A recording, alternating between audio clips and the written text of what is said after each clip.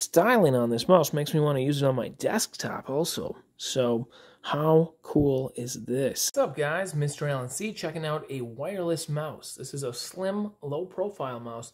I can't wait to unbox it and try it out. This is how it comes packaged and it says it's wireless with an optical sensor. Here's how it comes in the box.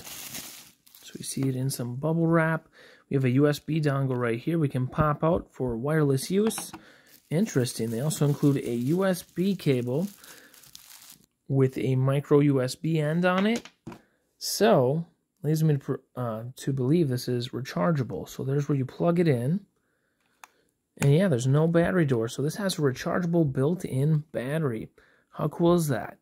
So I just plugged that dongle from the bottom of the mouse into my USB port. And it looks like the mouse is working instantly. Let me zoom out so you can see the mouse moving. So it's working instantly. If I scroll down, see? And then uh, right here it has a wheel for scrolling. But what's really cool is there's a light button right here. And take a look at the lights on this mouse. This is unbelievable. This is going to make your setup look really good.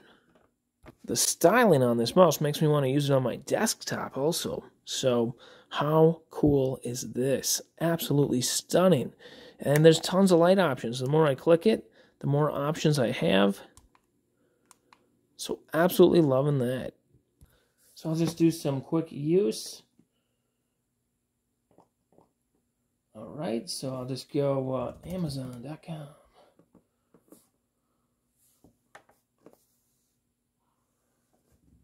And how cool is that? The mouse is working great, guys. Now let's go ahead and plug this into the mouse just to demonstrate how you would recharge the battery on it. Plus, it also has an on-off switch, so you can hit it off anytime that you're not using it to conserve battery. So I did go ahead and plug that in with the cord, and it recognized the mouse right away.